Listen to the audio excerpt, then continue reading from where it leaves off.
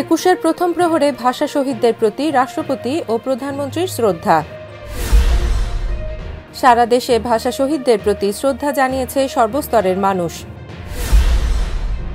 বাংলাকে জাতিসংঘের দাপ্তরিক ভাষা করার দাবি ওবায়দুল কাদেরের। মোশারফের নেতৃত্বে শহীদ মিনারে বিএনপি শ্রদ্ধা।